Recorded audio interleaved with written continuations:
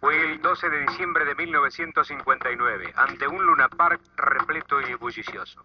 El campeón argentino y sudamericano de los welter, el panameño naturalizado argentino Luis Federico Thompson, le daba una lección de boxeo al norteamericano Don Jordan, campeón mundial de la categoría.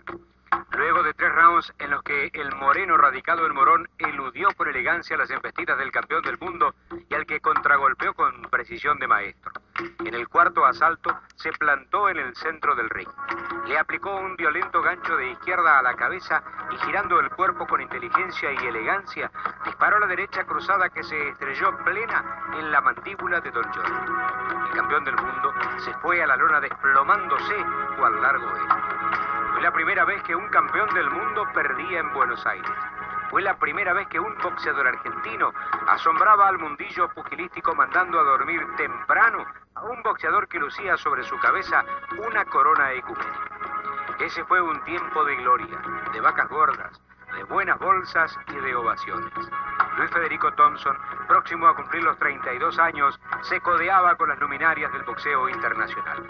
Pero hubo un tiempo anterior, una niñez pobre en Panamá junto a dos hermanos. Los comienzos en el boxeo profesional después de solo seis peleas como amateur para ganar algún dinero. Hubo un desafortunado debut en Buenos Aires el 12 de julio de 1952 frente al mono José María Gatica. El panameño llegó a Ezeiza luciendo un liviano traje blanco y con bastante hambre. El frío y la mala alimentación le resultaron dos rivales invencibles.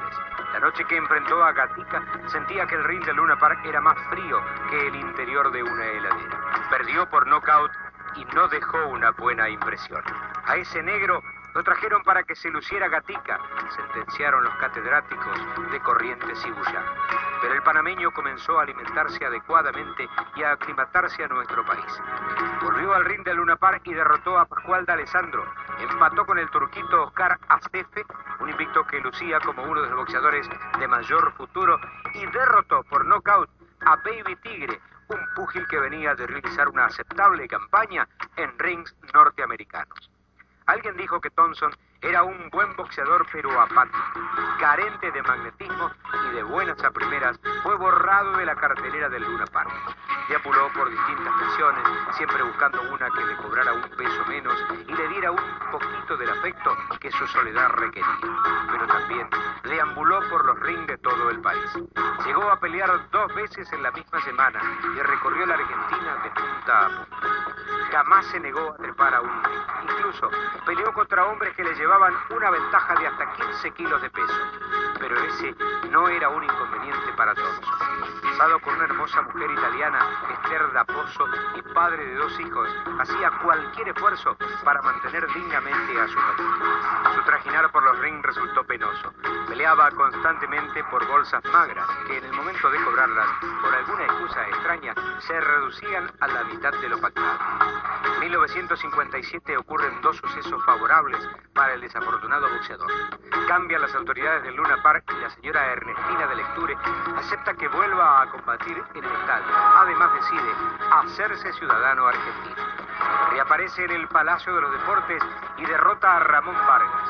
Luego al rosarino Oscar Ramírez y le dan la oportunidad de enfrentarse con el Puma Juan Carlos Rivero, un tremendo noqueador invicto con 24 victorias por nocaut, al que le temían todos los welters del país. Thompson realiza una tarea consagratoria. Le da una verdadera paliza y brinda una lección de boxeo moderno. Le gana por amplio margen de puntos y le corta a Rivero su impresionante serie de títulos.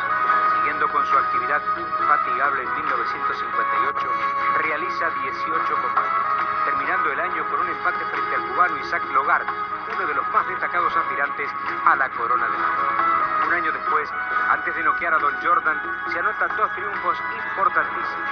Derrota a Jorge Fernández y le arrebata el título argentino a Cirilo Gil. 1960 en los Estados Unidos disputa un combate eliminatorio frente al cubano Benny Párez. Empata en 12 rounds. Gana ampliamente al mexicano Gaspar Ortega. Retiene el título argentino frente a Adalberto Bonita Ochoa y el sudamericano ante el uruguayo Jorge Peralta. Se vuelve a enfrentar con Benny Párez, esta vez por el título del mundo, perdiendo por puntos en 15 rounds, el fallo muy discutido. Luis Federico Thompson siguió en los ring hasta 1963. Se la vio frente a los más destacados pesos welter de Sudamérica y del mundo. Ted Wright, Juan Carlos Ducay, Luis Manuel Rodríguez, Danny Turner, Pedro Miranda, Ricardo Palet, Roberto Cheta, hasta que el 15 de noviembre de 1963, próximo a cumplir 36 años, siendo campeón argentino y sudamericano y con la friolera de 177 peleas registradas, derrotó en Rosario a Raúl Roldán y sintió que había llegado el momento del adiós al boxeo. Esa noche descendió por última vez las escalerillas de un ring. Había nacido en Panamá, adoptó ser argentino, aquí se estableció y formó una familia. Por lo tanto, es absolutamente justo que se lo considere el mejor peso welter argentino de todos los